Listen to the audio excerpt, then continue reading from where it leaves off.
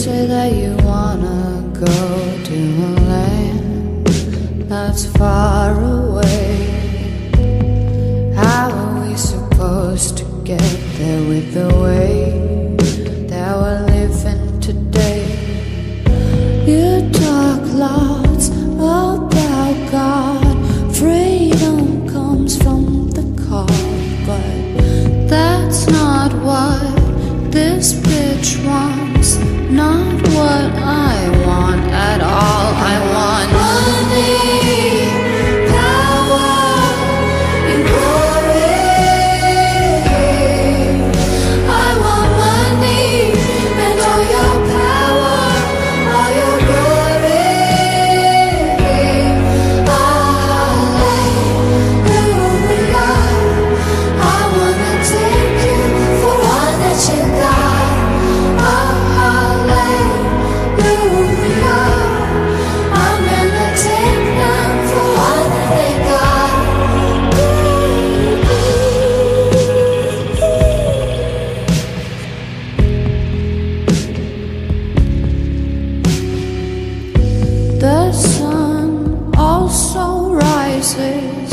on those who fail the call.